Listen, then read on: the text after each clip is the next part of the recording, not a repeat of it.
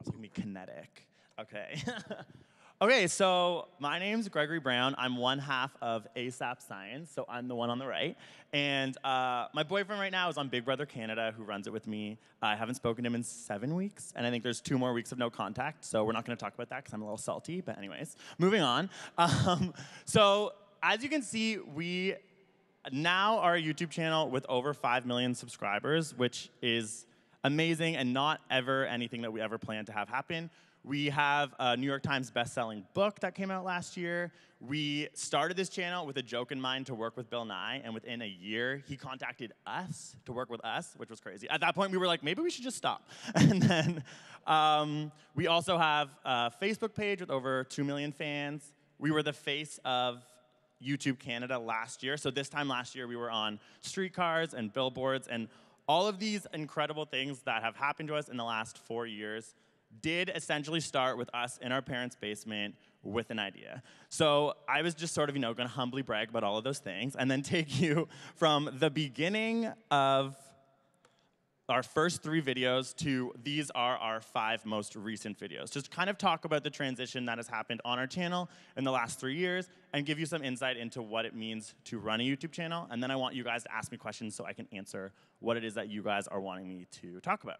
So the first video we ever did was how to see or hear the Big Bang. And so I do not know why we made those two words capitalized. I think we were just trying really hard to make it sound exciting. But that video now has almost a million views, which makes both Mitch and I very sick to our stomachs because it is horrible. It is drawn uh, in a really awful way. There, the lighting, it's not color corrected. We didn't have a logo at this point, but we had an idea. And so I was in school at Teachers College in OISE, and I was learning and talking to kids and being like, what do you guys do on your spare time? And they'd be like, watch YouTube.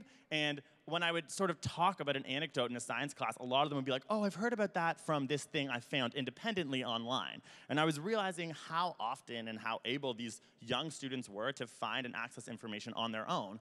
And then also, Mitch had met some YouTubers who were like, I think I can make a living of this, and we're kind of at that point, and he was like, I think just fresh out of university, he was unemployed in his parents' basement. He thought maybe we can actually do this. So importantly, we gave ourselves the goal of making one video every single week for a year and sticking to that. And so that's an important part because YouTube is about consistency. So we did make that pact, and it was our fourth video, which isn't on here, which was the scientific power of naps. That was our first video that kind of actually like went viral. And we realized what that meant. It's like, oh, it's like a virus because it like spread across the internet, and it was really exciting. Um, so also, if you see there, we made a video called Why Do Coffee and Alcohol Make You Pee More? And these are all examples of videos with titles that we think we learned how to change and make better. We also made one after this, soon after, about how beets and training at high elevations can make Olympic athletes better. And we called it How to Be Unbeatable and like wrote it like B-E-E-T. Was just like the most, like not a smart name when you're trying to think of YouTube al like algorithms, but we thought it was so clever. So now, these are our last five videos, and as you can see, we think a lot about the titles, we think a lot about the thumbnails. Something like is ADHD an advantage is definitely about a year ago, we would probably have called that the science of ADHD. And it would have essentially made people who maybe had ADHD or parents people with ADHD would want to watch it, but a lot of other people would maybe be like, eh, I'm not interested. Whereas we spun it, we changed the whole narrative, changed the whole story to be about, wait a second, is ADHD and the way that it actually works, could it be an evolutionary advantage? And in a lot of new industries and the way that the world's starting to work, it is a benefit. And it also gets rid of some taboos around it. And yeah, also, we did one up there about pubic hair, and we realized if you ever want to talk about anything to do with pubic hair or genitals, it always does really well. So that's another thing we do. Every month or so, we'll just be like, the science of penises, and then things go well. um, okay, so this, yes, speaking about penises, um, this video is called Is Masturbation Good for You? And I think this is a video, I think it has about 8 million views. We made it recently, and I think it's a good example of where our channel kind of is at today, in that we're making content that um, is shareable, first of all, so relatable. You know, everyone has some, some, some sort of thoughts on this. And also, it sort of, again, talks about something that is a little bit more taboo and maybe challenges people and makes people sort of a little bit more excited when really, in fact, they're learning about science. And so this is one of our most popular recent videos, and I figure you know, it's been a long week, I'm sure. We can all like benefit from learning how our channel works by watching this video. So roll the masturbation clip.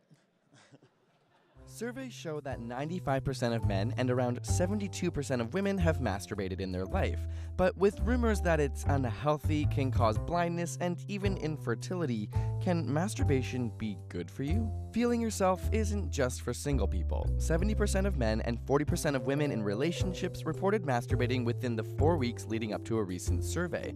After all, it feels good. Not only is dopamine released, which helps control the brain's reward and pleasure centers, reducing feelings of stress, but other endorphins released during an orgasm can decrease your perception of pain. For women, polishing the pearl can reduce menstrual cramping. And of course, with the help of the hormone prolactin, which is linked to sleep, you're likely to feel exhausted and catch some much needed Z's. Feel like you're coming down with a cold? One study found that in males, components of the immune system are activated during masturbation, increasing the number of white blood cells in the bloodstream. Solo sessions might also help men reduce cancer, with high ejaculation frequency correlating with a decreased risk of total prostate cancer. Though it's unclear why, researchers hypothesize that increased ejaculation means potential carcinogenic secretions in the prostate are excreted more regularly, decreasing their negative impact on the body. But why have humans and animals evolved to masturbate if it's seemingly a waste of energy or semen in men? Well, it turns out that self love can actually improve the quality of sperm. A study showed that recent male masturbation reduced the number of sperm inseminated at the next copulation, but not the number retained by the female. From this, it was concluded that masturbation is a male strategy to improve the fitness of their sperm, as younger sperm have a higher likelihood of insemination. Not only that, but masturbation can improve your sexual performance. Both women and men have pelvic floor muscles that stretch from your pubic bone to your tailbone. As we age, these muscles weaken, causing sexual dysfunction in women and erectile dysfunction in men. But stroking the penis or clitoris can activate the bulbocavernosus reflex, resulting in pelvic floor muscles contracting. It's essentially a workout for your sex muscles. Nitric oxide levels also diminish with age and can contribute to a decreased sex drive, but masturbation can help maintain it in your blood throughout your life. But while masturbating does have physiological benefits, it's important to mix up your techniques. Using the same way to get off every time can make you sexually unresponsive to other types of stimulation. This could lead to decreased sexual arousal or performance when it comes time to do the deed with a real life partner. So make sure you mix it up. At the end of the day, masturbation is a safe and healthy activity, so put on some music, light those candles, and have yourself a good night. And if you truly love science, we have a new t shirt on sale for one more week. But unlike most trends, science is logical. Oh, thank you, thank you. okay, so yeah, I think that can give you a gist of what we are trying to do. It's we like to think of ourselves as the gateway drug to science, or essentially like hiding the peas in the mashed potatoes, in that we want to create content that's entertaining and fun and enjoyable, but also educational at the same time. And so every single week we try to do that, but we think that it was executed pretty well here, and that you, you know, enjoy yourself, you learn something, and maybe it makes you want to go home and have a good Friday night, which is great. okay, so this is now our most popular video. It's called What Color is This Dress? And I think maybe most of you remember this phenomenon. The internet is a wild thing. And so this video has over 20 million views and is a really interesting anomaly on the story and, and trajectory of the growth of our channel because it got about 18 views and I think it was a week and a half, and then, sorry, 18 million views in about a week and a half, and now it's completely sort of untouched. No one watches this video anymore. But it's a great example of, I don't know if you know what this is, but many, there was this huge argument online, I think it started on Tumblr, about whether this was black or blue or white and gold. And we decided, it was sort of one of the first times when we realized and like all the stars aligned and people like Demi Lovato was like, what's the science behind this dress? And like pop culture was actually wanting a scientific answer from something. And so we you know, we were like, this is our calling. And like, we stayed up all night and we had luckily already done research for a video that we'd scrapped all about optical illusions that really did explain what was happening here. It's all about perspective and it's sort of like the most perfect image that was picked, that was taken when it comes to optical illusions. And we executed this video in about, I think it was the fastest we've ever done a video. It made us realize if we actually have a really good deadline, we can do it a lot quicker than we end up doing it. But it took us about 16 hours we stayed up all night, we released it in the morning, and it just completely took off. It went completely viral. it was it, it, the growth on our channel was huge, and it's sort of an example of how pop culture and science overlapped, and we took advantage of it. And to this day, we are trying to figure out ways to recreate this, but it just hasn't happened. There hasn't been this magical question, and it was really exciting because we'd never seen a video have that many views so fast. Like now, like I remember like later that week, like Miley Cyrus released some like music video and it like didn't do that well, didn't get many reviews, and we were like, oh, look out, Miley! Like we know what it feels like to get millions of views really fast. Um, so it was just really exciting and an example of something we are trying to do more often and haven't been able to execute since this. So this is our most popular video now, but it isn't really viewed anymore. So it's kind of a really interesting aspect, whereas all of our other videos have a very similar trajectory. So yeah, this is our faces. And so on ASAP Science, and as a YouTuber, it's really important to collaborate with other YouTubers and to make your channel have a personality. And as you saw, one of the keys to the success, I think, of our channel is that we aren't in it and that it is about the information first and it breaks things down really simply and our personality is devoid of it. But at the same time, it's really important that we have a reason for people to maybe want to be attached to us, or we figure out a way in which we can get other YouTubers onto our channel to collaborate and grow our audience, which is something that all YouTubers do, and we never had the ability to do that. So we started this series called The Lab, in which we actually sit down and uh, physiologically experiment on ourselves, on camera, on ASAP Science. And this was probably the biggest risk we've ever taken with the channel. We did this in the fall. It went really well. We learned a lot. The videos were about 10 minutes long, which was too long. Um, we've really decided we wanted to execute it as a season and reflect and make a second season. So now our plan is to do the second season in LA with other YouTubers coming on and having the whole collaborative approach work. Um, yeah, so this is an example of something that we have done to grow our channel in a different way. We just, I just need Mitch to come out of the Big Brother house. So if anyone has any connections and we can go steal him, I would love to do that. But so that's sort of another example of something new. Um, so yeah, this is a slide that I wanted to make to talk about the fact that a lot of people look at what we do and look at YouTubers and want to be YouTubers and think that it's this extremely sort of easy process. And a lot of people we talk to are frustrated. They think we're doing everything that everyone else is doing, but we're not getting growth and no one's watching our videos. And this is me just trying to say that it's a lot of work, work, work, work, work, work, work, work, work, work, work. So that is me most of the time, and that's Rihanna because I just essentially just wanted to be beside Rihanna in a presentation.